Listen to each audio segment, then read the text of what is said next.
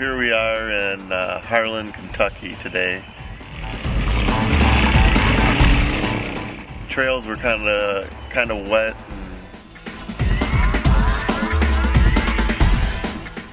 Lots of rocks.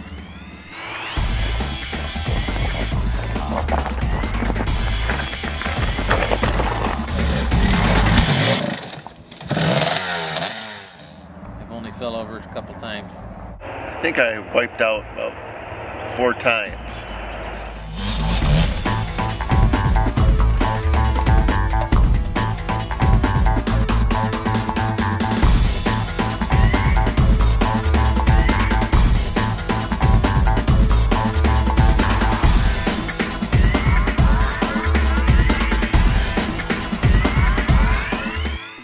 Now we're on the top of the hill.